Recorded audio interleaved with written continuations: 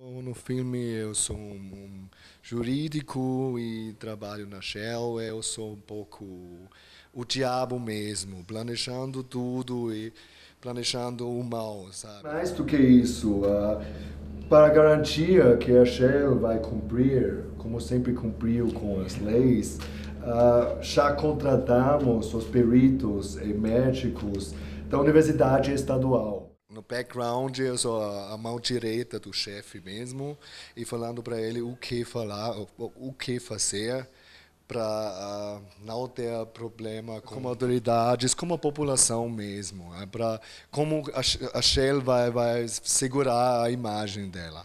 Por favor. Está encerrada a Só mais coletiva. Uma é. Let's go, né? Por favor. Next mais... week. Next week. Obrigado a todos.